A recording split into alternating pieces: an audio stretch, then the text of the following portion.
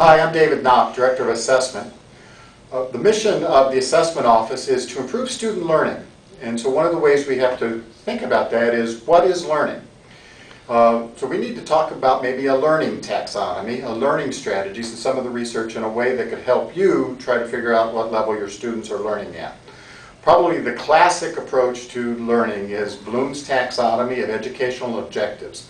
Bloom was an educational psychologist and he chaired a committee in which the committee came up with ways to try to really see how students were learning.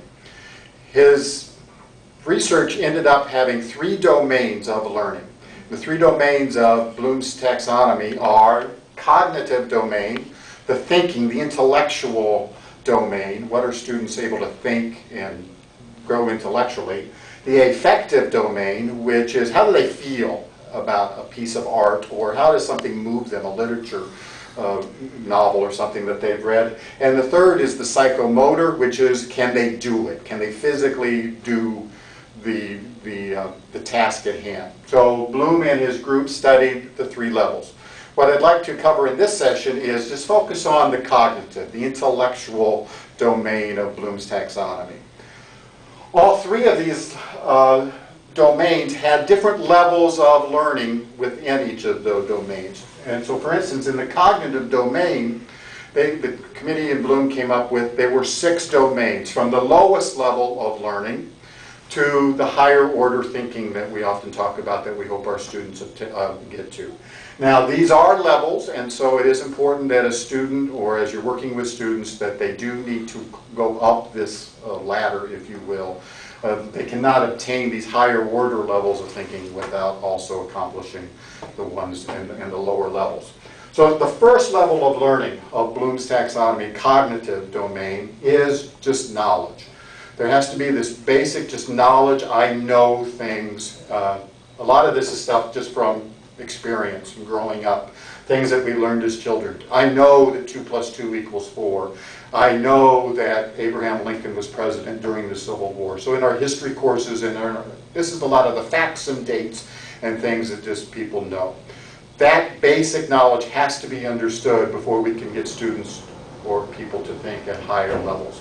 The second level is comprehension. Not only do I know that Abe Lincoln was president during the Civil War, but I can comprehend, I can understand, I can put that in texture, I, that means something to me. I can comprehend that knowledge. The third level is then application. I can apply what I've learned in, through my knowledge and comprehension to a new situation.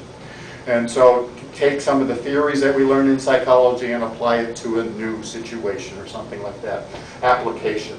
The fourth level is analysis. Here, a lot of, I'm able to really think and compare and contrast and really go and analyze and examine situations and um, come up with my own determination of which might be better. I can do some of the critical thinking decision making at this approach. Synthesis is I'm taking all this knowledge, application, and analysis, and I'm almost able now to create my own piece of work.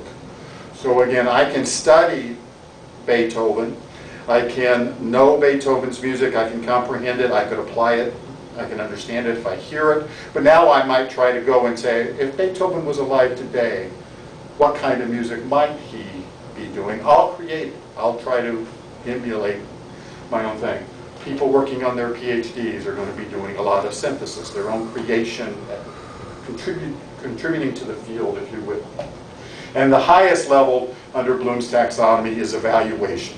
Here I'm able to judge. I'm able to take work and really truly dissect it, evaluate it, value it, uh, and determine its worthiness. Um, so those are the six levels of Bloom. So in, in, the next sessions I'd like to talk to you about how can we uh, use these levels as we prepare our syllabus or we think about our assignments and exams.